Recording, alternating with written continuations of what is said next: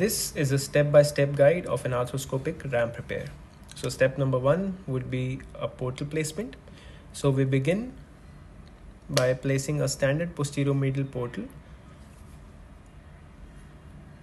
We place the portal under direct vision as viewing from the anterolateral portal. Step number two would be margin preparation and elevation of the capsular and the meniscal margins.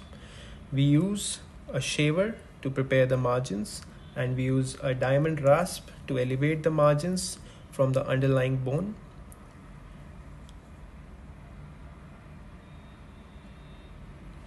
Step number three would be to take a capsular bite.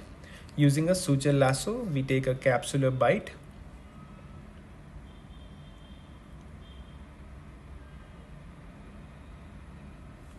After taking a capsular bite, we pass the Prolene suture through the portal.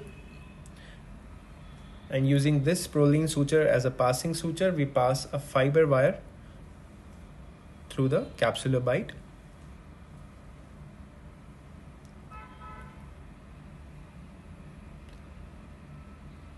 Step number four would be to take a meniscal bite using a suture lasso Again, using Prolene as a passing suture, we pass the fiber wire through the meniscal bite.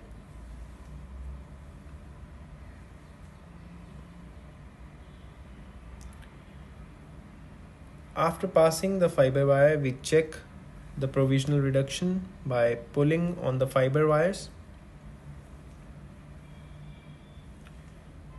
Here we can see that the ramp is successfully reduced.